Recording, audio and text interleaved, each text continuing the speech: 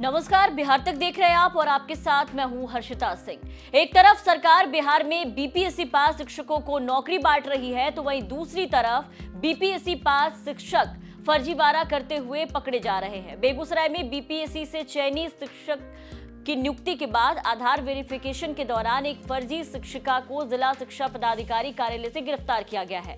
आपको बता दें कि बीपीएससी द्वारा आयोजित शिक्षक नियुक्ति परीक्षा टीआरई वन में उत्तीर्ण होने के बाद विद्यालय में फर्जी तरीके से बहाल एक शिक्षिका को आज जाँच के दौरान जिला शिक्षा पदाधिकारी के कार्यालय से पकड़ लिया गया है। गिरफ़्तार फर्जी शिक्षिका का नाम नुमा कुमारी बताया जा रहा है। मुंगेर ज़िले के बरियारपुर की रहने वाली है। गिरफ़्तार फर्जी शिक्षिका जो है वो भगवानपुर प्रखंड के रघुनंदनपुर प्राथमिक विद्यालय में योगदान कर पढ़ा रही थी।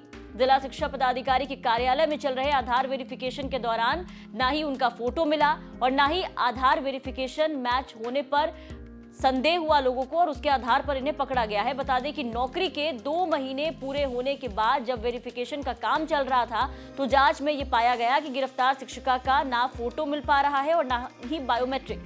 जिसके शक के आधार पर जिला पदाधिकारी के आदेश पर इस शिक्षिका को गिरफ़्तार किया गया। फिंगरप्रिंट का मिलना नहीं, मिलन नहीं होने पर डीएम को इसकी सूचना दी गई, जिसके बाद डीएम के आदेश पर उसे हिरासत में लिया गया है।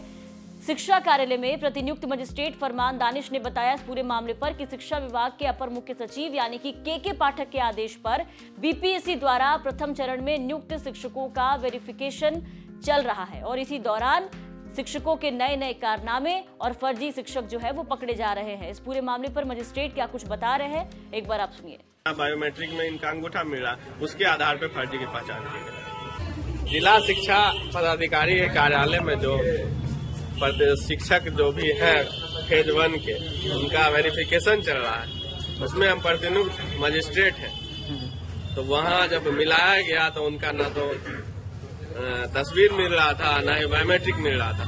तो उसके आधार पे फर्जी की पहचान की गई और हम लोग नगर थाना को सपोर्ट करते ये शिक्षिका है भगवानपुर ब्लॉक में।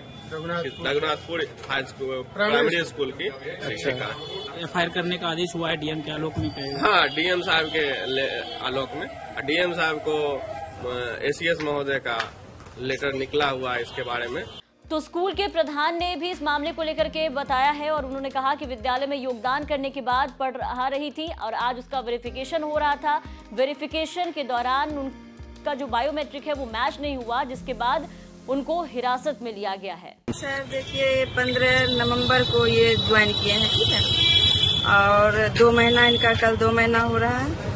और ये अभी आए था इंप्रेशन में। तो इनका फ़ोटो है, इनका फ़ोटो अलग है, और जो परीक्षा दिए हैं उनका फ़ोटो अलग है। तो ये जब से ज्वाइन किए तब से मेरे विद्यालय में पढ़ा रहे हैं लेकिन जो फ़ोटो में उनको हम नहीं पहचान रहे हैं। बस। ये कैसे उजागर हुआ? आज कैसे पता चला? क्या जानकारी मिली? हम इम्प्रेशन में फ़ोटो जो आया ना तो इनका अलग फ़ोटो है उसमें दूसरा कोई का फ़ोटो तो बिहार में बीपीएससी द्वारा पहले चरण के शिक्षक नियुक्ति में बहाल हुए करीब एक लाख शिक्षकों में कई फर्जी तरीके से टीचर बन बैठे हैं। लगातार इस बात की शिकायत सुनने को मिल रही थी, जिसके बाद विभाग के अपर मुख्य सचिव के के पाठक ने बड़ा आदेश जारी किया। अब हर एक शिक्षक की ऐसी जाँच करवाई जा रही है कि कोई फर्जी शिक्षक काम नहीं कर पाए। और देखिए कि ये मुहिम रंग भी ला रही है। बेगूसराय में बीपीएससी परीक्षा पास फर्जी शिक्षिका को गिरफ़्तार किया गया है। आपको बता दें कि शिक्षा विभाग के अपर मुख्य सचिव के के पाठक इन दिनों छुट्टी पर चल रहे हैं, लेकिन छुट्टी पर होने के बावजूद के के पाठक लगातार एक्टिव और काफ़ी एक्शन में नज़र आ रहे हैं। इस पूरी खबर पर आपकी क्या राय है कमेंट करके ज़रूर बताएँ। और आपको बता दें कि ये खबर हम तक पहुंचाई थी बेगूसराय से हमारे संवाददाता सौरभ कुमार ने। बिहार की तमाम खबरों के लिए बने रहे बिहार तक के साथ।